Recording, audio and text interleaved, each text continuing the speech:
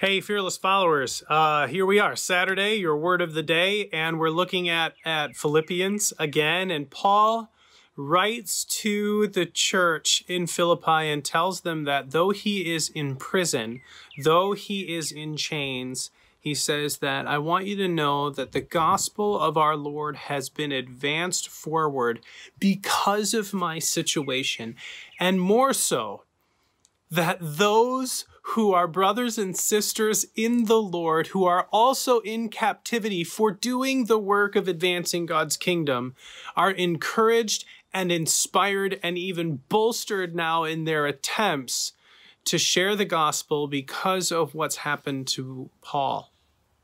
And I think about that today. I think about that in the midst of our situation in the coronavirus, although, uh, like, let's just be clear Paul being in prison was significantly more difficult than um, than what we're facing right now here at home, and yet all the same, in every situation, in every encounter that we have, the gospel of God and the kingdom of God will move forward. And one of the things that Paul's talking about here is that no matter what happens in this life, God has a plan and a purpose for his mission. God has a plan and a purpose for his gospel and it will move forward as God wants.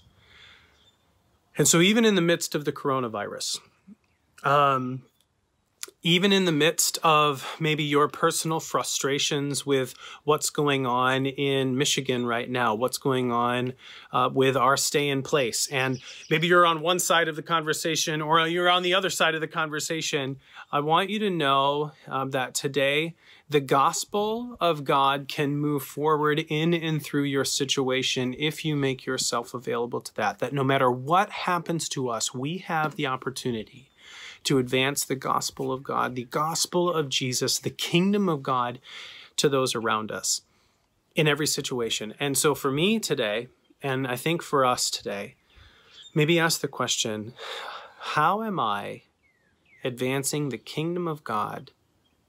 in my life today?